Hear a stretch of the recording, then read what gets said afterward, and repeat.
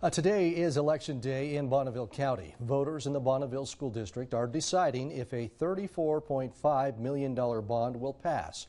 The bond would give District 93 the funds to build a new elementary school and repair roofs on existing schools.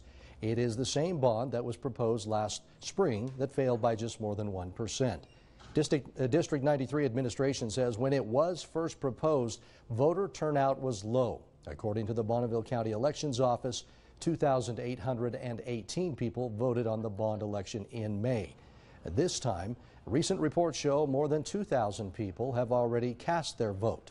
It's a thing that we need to to voice our opinion on what is going on, whether it's on bond issues or whether it's on politicians or whatever, so that we can speak our piece.